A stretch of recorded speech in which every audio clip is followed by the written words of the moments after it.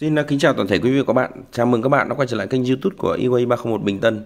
Ờ, thưa các bạn thì à, loa chép rời nó luôn luôn là một cái chủ đề rất là hot và nó luôn là một cái sản phẩm mà rất là nhiều người quan tâm để cải thiện cho cái dàn âm thanh gia đình à, trong quá trình nghe nhạc cũng như hát karaoke đúng không ạ? Thì đã có rất là nhiều video đã giới thiệu về các cái dòng loa về chép giấy và chép titan, chép dom từ neo, từ thường. Ờ, đúng không ạ? Thì Ờ, nếu như uh, cái cái trong cái phân khúc nghe nhạc vàng và nhạc nhẹ thì ờ, đứng đầu là dòng loa chép giấy. Các bạn nhé chép giấy. Thì uh, uh, khi mà cái âm thanh mà mình kết hợp cùng với cả vừa nghe nhạc và vừa hát karaoke thì uh, loa chép giấy này thực sự là sẽ có một đối thủ rất là đáng gờm. Đấy là con VKT 500 e này. Đấy là cái dòng loa chép titan với cái họng đầu đạn này của nó. Nó sẽ cho cái độ vang phóng rất là xa lên keng tí tách và nghe nó rất là êm dịu chứ nó không hề chói một chút nào nha các bạn nhé đó. Thì ở video này em sẽ uh, test cái chất âm của nó. Thì ngoài hai cái dòng này ra thì nó sẽ còn có một tham gia của một cái uh, đồng chí ờ, Dali M8 này từ neo các bạn nhé. Đó, dòng này thì là dòng mini nhỏ. Đấy, hình như là cái cái cái con thuyền như thế này. Đó. Thì đường kính của con này nó chỉ có nó hơn 3 phân thôi. Tuy nhiên là cái chất âm của nó cho là rất là ok nhé Thì con này của nó thường sử dụng cho cái dòng loa à, búc xeo gia đình ấy, Mình có thể nghe nhạc ở tại bàn làm việc đó, bổ sung ghi chép hoặc là mình lắp đặt trên các cái uh, uh, hệ thống âm thanh ô tô nhé các bạn nhé đó, thì à, thưa các bạn là à, chủ đề chính của hai thanh niên ở đây là một là à, chép Titan VKTA 500 và P9 TVK của Pioneer là hai cái dòng mà mình sẽ giới thiệu chính ở trong cái video này. Thì trước tiên xin mời các bạn cùng lắng nghe tiếng chép của đối thủ vừa nghe nhạc vừa hát karaoke đến từ VKT A500 của Pioneer nha các bạn.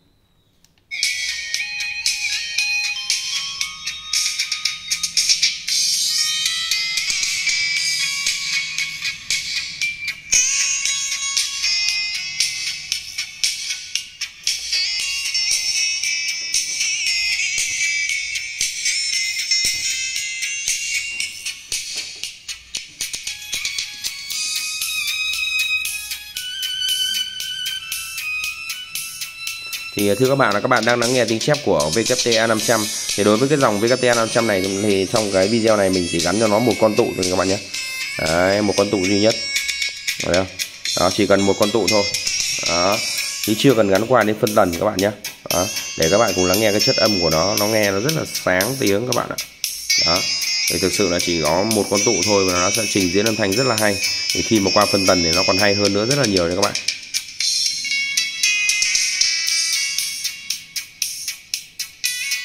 Dòng này của nó thì nó là cái vành viền vuông nhé nó có một cái vành đen rất là xịn như thế này. Đó. À, phần đế lên đế chân cũng khá là đẹp. Đó.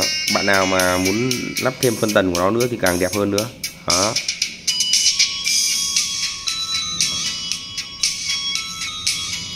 Thì đặc trưng của dòng loa chép uh, Titan VKT A500 vành đen như thế này nó sẽ cho một cái chất âm vô cùng sáng.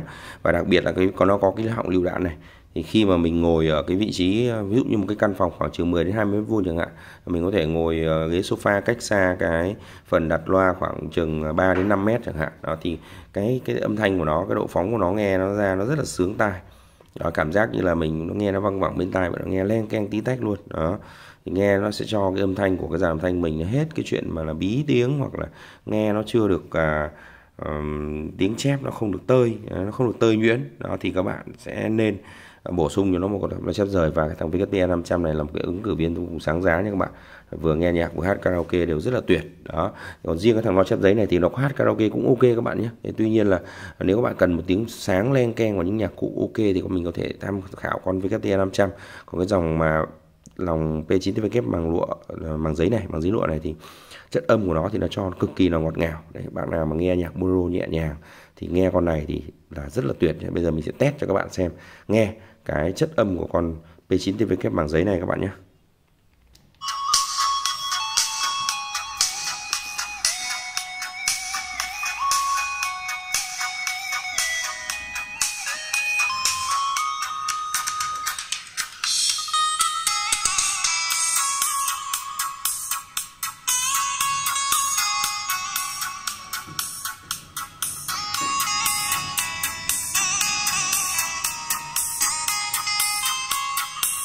Đây là dòng P9 TV kép của Pioneer, dòng loa chép màng giấy lụa. cho chất âm vô cùng ngọt ngào các bạn nhé. Mềm mại và ngọt ngào. Đó. Bác nào nghe nhạc vàng hoặc thích những dòng nhạc nhẹ thì không thể bỏ qua dòng loa chất giấy này. Nghe nó cực kỳ ngọt luôn. Bổ sung cho tiếng chép cho bởi bĩa đỡ bi tiếng theo nó được len keng hơn ngọt ngào hơn mịn màng hơn sáng tiếng hơn. Đó. Chung là với những dòng loa chép giấy này thì các bác nghe những cái dòng loa bâu hoặc những dòng loa BMB dòng loa Paramax dòng loa JBL đó thì à, không thể nào bỏ qua được dòng loa chép giấy này các bạn nhé. Đó. Thực sự là cái chất âm của chép giấy nó vẫn có những cái chất rất là đặc trưng riêng của nó.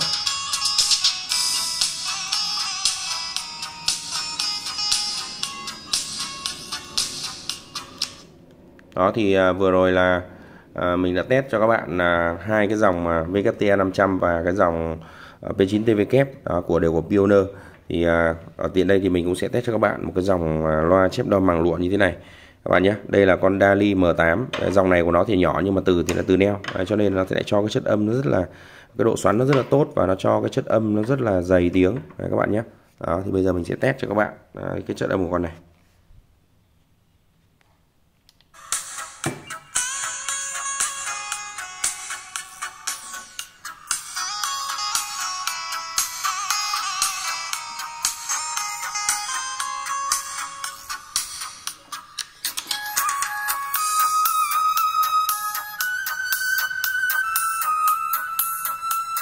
Đây là dòng chép Dali M8 của Đan Mạch nha các bạn. Đó. nó nhỏ nhưng mà nó có cái từ neo xoắn, cho nên nó cho độ hút rất là mạnh. Cho tiếng rất là mềm mại và dễ chịu. Đó.